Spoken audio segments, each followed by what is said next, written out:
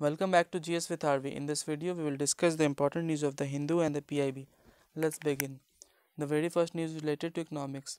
The Indian GDP growth rate has increased to 6.3%.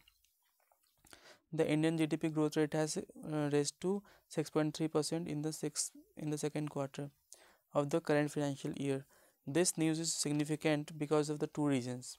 The first is that uh, from from the past two quarters the trend was on a declining trend. It was on a declining trend but in this fiscal uh, it has increased up to 6.3 percent. So this quarter has shown india a positive sign to the its economy. And the second significant thing is that in the first quarter after demonetization and gst it showed a negative declining trend. So many experts were saying that the declining trend is uh, because of the demonetization and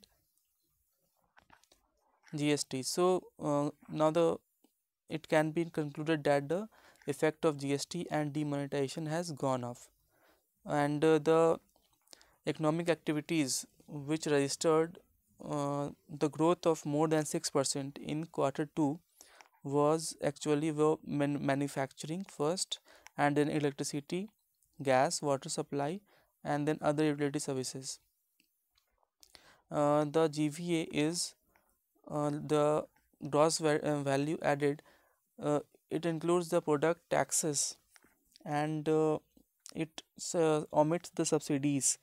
And gva is actually plus gva is actually the GDP plus subsidies and from that uh, we have to deduct the sales and taxes.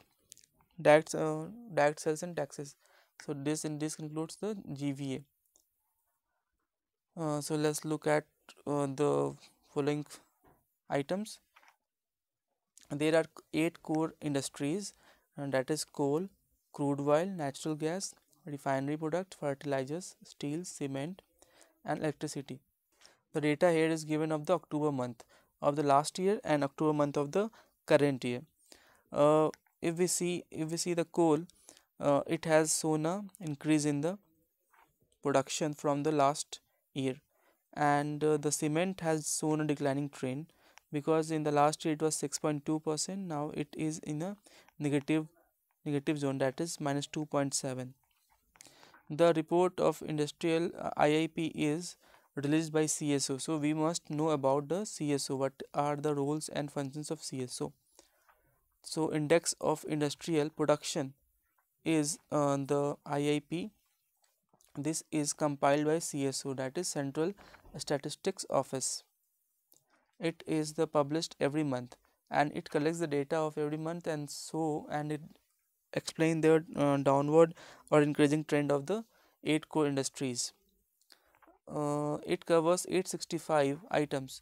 Previously it was 682 items. Previously it was 682 items and in the new series it covers 865 items out of which manufacturing is 809 items in the new series while in the old series it was 620 items. Mining is 55 items electricity 1 item and the weight of three sectors are the mining sector the manufacturing sectors has the highest percentage. We should not forget followed by mining activities electricity also the base year for the new item for the IIP has changed to 2011 to 2012 from 2004 to 2005 so the new base year is 2011 2012 and earlier the base year was 2004 5 the there are eight core industries as we already know and uh, they comprise they compromise they comprise nearly 40.27 of the weight of the total items and uh, they are basically coal crude oil natural gas refinery products fertilizers steel cement and electricity and the very important thing here is that the electricity has got the highest share in the list followed by steel, refinery products, crude, coal, cement, natural gas and fertilizers. Generally UPSC asks questions about the decreasing and increasing order of the 8 core industries. So we should keep in mind about these facts. Let's move to next news item. Next news is related to ncrb ncrb is actually national crime records bureau which which publishes uh, the report of the crime happening in the city. And it uh, and it compares the rate of crime happened in the last year to the uh, crime rate of crime happened in the present why it is in news because NCRB has released a report and it and according to the report of NCRB there is an increase of 2.6 percent of the crimes in 2016 compared to the previous year. And uh, out of the states Uttar Pradesh has recorded the highest number of heinous crimes such as murder and the those against in those against women in 2016 also it is very important to note that for the very first time that NCRB has included data on the seizure of fake Indian currency. Uh, so this is significant and also around 40% of the fake notes were seized from Delhi. So Delhi has uh, got 40% of the shares of in the in fake notes which is followed by Gujarat. Also Delhi reported 33% of the total crimes against women followed by women and followed by the women which is at 12.3 percent. So delhi is the most uh, crime city against women in the country. So ncrb is actually uh, gives the report of the crime happening in the city. Uh, so let's uh, let us know some more points about what is ncrb and when it is set up in our country NCRB was actually set up in 1986 and it is responsible for collecting and analyzing the crime data which are defined under IPC Indian Penal Code. So NCRB is a government agency and which, was set up in 1986.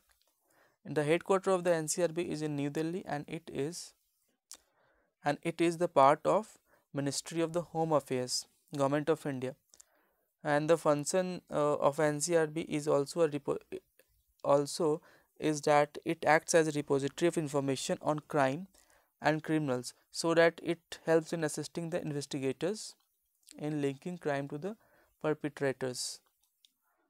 So let's move to the next news uh, which is related to foreign trade policy 2015 to 2020 the foreign trade policy uh, the news is basically that the government is going to uh, take a review on December 5 that is the mid review about the foreign trade policy which is in progress from whose duration is 2015 to 2020 according to the policy the india had india targeted the 900 billion dollars of ex exports of goods and services in financial year the center will announce on December 5 its midterm review of the foreign, foreign trade policy.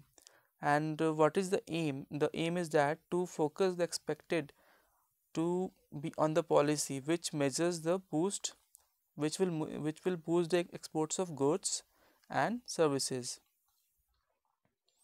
and it will also increase employment generation and value addition in the country uh, the most important the, the main aim and the government will um, put more focus on the on the small and medium uh, enterprises and labor intensive seg segments because these are the driving forces in export from our country.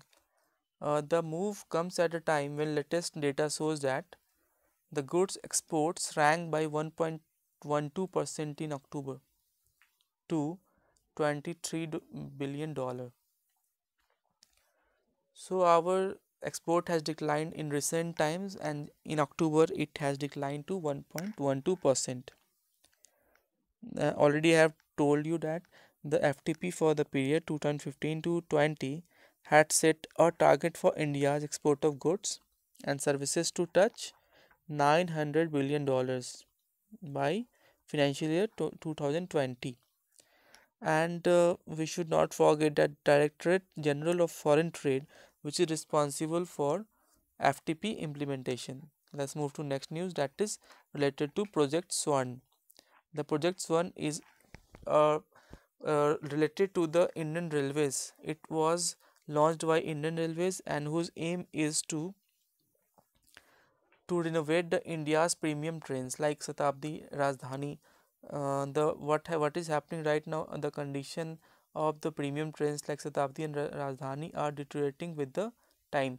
So, uh, Ministry of Railway has launched a program that is Project Swarn, which will which will aim at renovating these premium trains. Under the under the project, what Indian Railways have uh, focused and planned that they will focus attention on 10 key areas. They have identified the 10 key areas in which the project will work on like punctuality whether the trains are coming on report on are coming on right time or not uh, on cleanliness on the bedding system like linen clothes linen and uh, coach interiors toilets catering staffs uh, etc so let's move to next news which is lesotho. Lesotho is a place in africa and why it is in news? Because india has donated 500 metric tons of rice to the kingdom of lesotho. Because they in lesotho they are facing a acute food shortage because of famine. So we should look at the location of lesotho in the world map. But i repeat once again that indian government has donated 500 metric tons of rice to the kingdom of lesotho in southern africa because they are facing acute food shortage due to famine. Uh, so the location of lesotho in the african country is is in the south and it is in south africa country. So upsc could ask these type of questions about the location of the location in the world map so let's move to next news that is related to namami gange mission so what is the context the context is that the indian corporates and uh, NRIs and pios in uk they have committed that they will give more than 5 million dollars for the development of amenities like ghats riverfronts and and cremat crematoria and parks as the part of the Namami Gange mission. These people, uh, corporates, NRIs and PIOs will give the 5 billion dollar and this and the announcement came in came in the effect came because of that that the Nitin Gadkari who is the minister of water resources river development and Ganga rejuvenation road transport and highways was in London and it and there he organized a road show regarding the cleaning of Ganga. So let's look at some more facts about the Namami Gange mission. The very first uh, thing is that for the very first time in 2015, the government has started the Ministry of Water Resources, River De Development and Ganga Rejuvenation. Their government basically set up a separate ministry and department for Ministry of for water resources, river development and Ganga rejuvenation. And uh, the with the objective, the objective of the ministry was to clean and protect the Ganga river in a comprehensive manner. And also we should not forget that Namami Gange, Namami Gange mission is basically a hundred percent centrally funded project. The project Namami Gange mission is also known as Integrated Ganga Conservation Mission project. The, it will cover 8 states and 12 rivers. Uh, the Ministries of Environment, Urban Development, Shipping, Tourism, Drinking Water and Sanitation and Rural Development are coordinating with Water Resources Ministry in this the project. So, Namami Gange mission is a very big project for which uh, the various ministry are engaging themselves and coordinate, coordinating with themselves for a better and uh, comprehensive workout for the cleaning of Ganga. The Namami Gange mission includes the various type of activities starting from local people participation, from river surface cleaning, uh, from river front development, for conservation of the biodiversity. It also includes the processes like afforestation, public awareness, industrial effluent monitoring and Ganga Gram. What is the Ganga Gram? Ganga Gram is that government has identified five states for uh, around which they will work uh, from where the Ganga is basically flowing and the in and the and in the Ganga Grams government will focus on these objectives and uh, like riverfront development, river surface cleaning, afforestation and conservation of biodiversity. So let's move to next news that is uh, related to uh, international tourism mart. International tourism mart is basically a basically a event which is planned and scheduled to facilitate interaction between buyers sellers media and government agency. The international tourism mart is is uh, happened because under the ministry of tourism government of india and uh, it is stated from 5 to 7 december and it is being held in guwahati assam. And the, also one important factor point is that it it it is being held every year in the northern eastern state. Uh, so this is the last news we discussed uh, thank you for listening. Thank you